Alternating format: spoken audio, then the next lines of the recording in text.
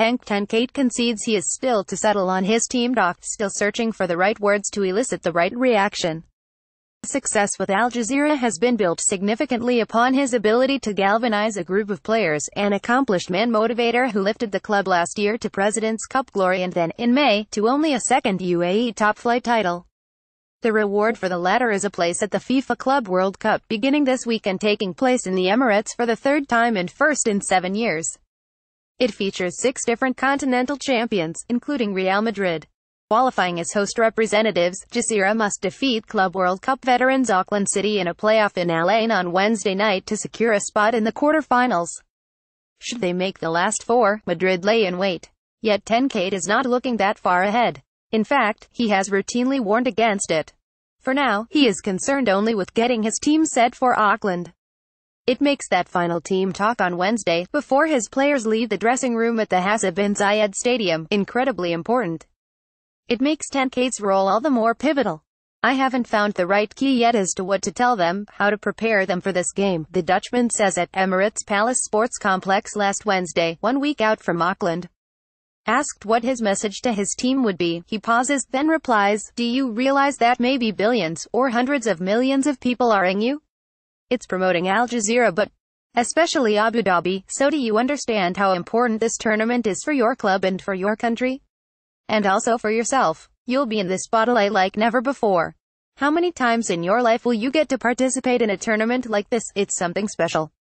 It's huge, man. Huge. The significance extends to ten Cate. At 62, he is coming to the conclusion of a managerial career that has taken him to, among others, Barcelona, Chelsea and Ajax. He has seen almost everything, nearly done it all. Last season, he even considered retiring.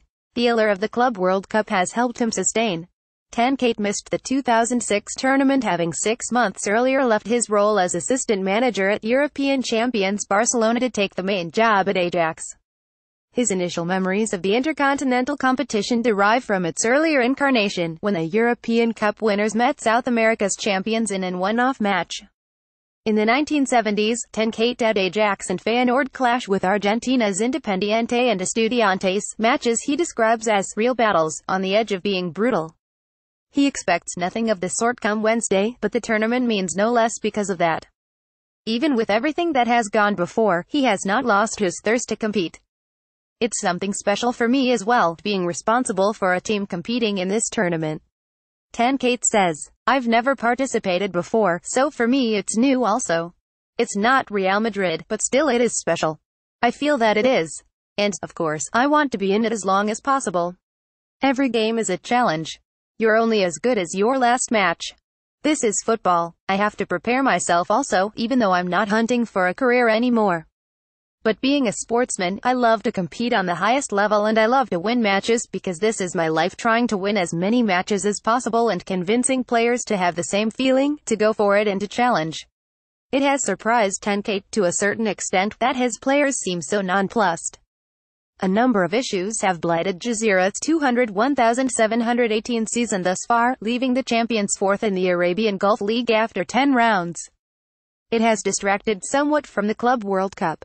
Not that the players particularly needed it. I've never seen these players nervous. ten Cate says, for anything, never, it's different. Normally in Europe you see white faces, but not here. Probably it has to do with the culture as well, and maybe not realizing what this means as a player, competing at the highest level. This is something amazing. There are some players who can showcase themselves to the world. You never know what might happen maybe a big offer rolls in. But this is daydreaming, I think. First of all we should qualify against Auckland. This is not going to be easy, because also for them it's a chance of a lifetime, so I feel it's going to be a very tight match. The best win, and if we're not the best, may the luckiest win. Auckland City have appeared at the Club World Cup on many occasions. Hagen Hopkins Getty Images, blank, read more Auckland City's experienced squad make way to UAE for Club World Cup, blank, ten Cate has Ed Auckland on video, identifying their English-style football. Even though they are an amateur team, the Oceania champions are competing in a record ninth Club World Cup. Ten Cate acknowledges that could be an advantage, but he is confident too in his own side's quality, despite it being their inaugural appearance and as hosts. Still, maybe their apparent calm bodes well. On the one hand it's good, because there's no tension, no stress, no pressure. ten Cate says. But on the other hand, can you imagine how big this is? That's why the first game is the key game, because if you win that you play at least two more matches. And in a single game anything can happen. I'm not talking about his playing Real Madrid. First things first, we have to beat Auckland. And I don't care how we beat them as long as we do. It doesn't have to go in a nice way, or a spectacular way, just as long as we qualify for the tournament. This is the most important thing. Ten Cate has much to do in the build-up. Media commitments have increased notably, to such an extent that he is welcoming to the UAE a number of journalists from leading newspapers in the Netherlands. He believes that, much like his players, he is representing both Jazira and his homeland. Ten Cate insists he is not nervous, he is too long in the tooth for that, but accepts that come just before kickoff on Wednesday, that sensation will begin to bubble, when he goes through his checklist and prepares his team talk. The team talk. Henk ten Cate has been there and nearly done it all in a long and distinguished career as manager.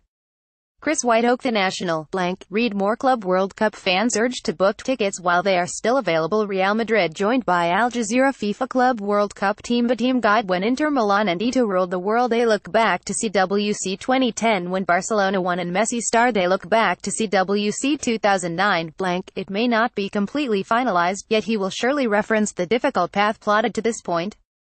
Ten Cate arrived at Jazira in December 2015 with the team threatened by relegation.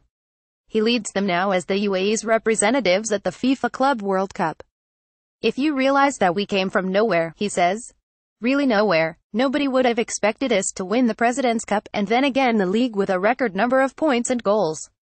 And now participating in this tournament. This is the cherry on the cake. And I hope my players start realizing this that, hey guys, we did something special last year, but the final is yet to come. And this is it. I hope my staff and I will be able to get the team super motivated to fight for their lives in that one particular game, at least to start with. Go to the next round, to the tournament, to participate really in the tournament. Auckland is a semi-final. Win this and you go to the tournament. That's the final for us, the result of all that hard work. Hope you we will succeed to do so. Because this is huge. This is really huge.